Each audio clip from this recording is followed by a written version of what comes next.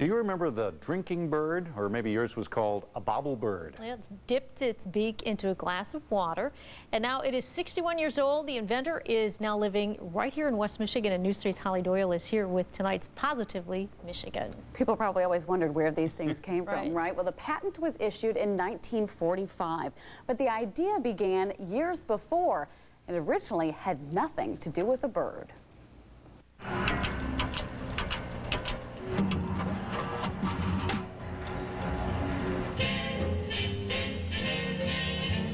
It wasn't the music or even the lights on an old jukebox. It was the bubbles that inspired an invention.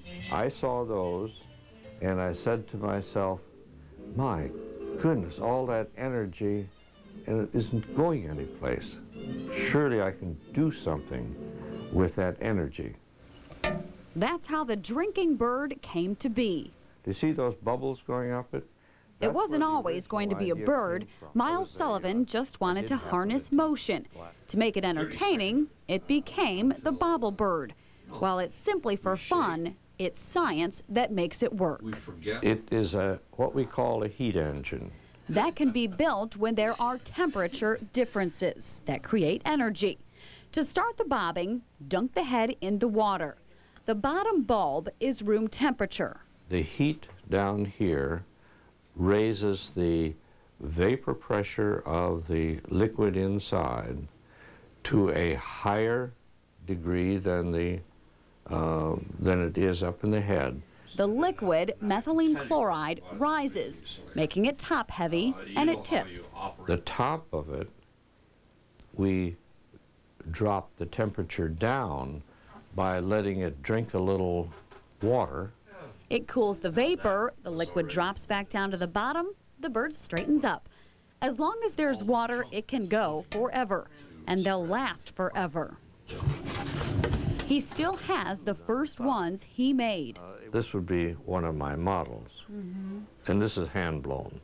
These are more than 65 years old, and they how they originally looked. Little, so this was the first manufactured bird. They still work fine. Who knows how many million have sold and still sell. They ended up out of Sullivan's hands, but he doesn't mind. I wasn't in this for money.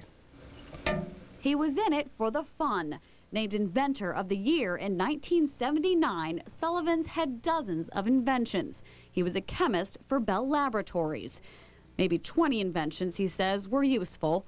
Probably none as well known, though, as the drinking bird a phenomenon he never expected. At the time, I had no conception of that. Now, mm -hmm. oh, I think it's pretty neat now. Definitely wow. pretty neat. And there you can is. still get them. I bought this one today. You can get them online too. But he said he's never met anyone who hasn't at least heard of it, let alone had one themselves. Isn't that wild? I, I know. It's great. There he goes. oh, That's really fantastic. great. Thank you, Holly. Yep. The Lions signed a new quarterback.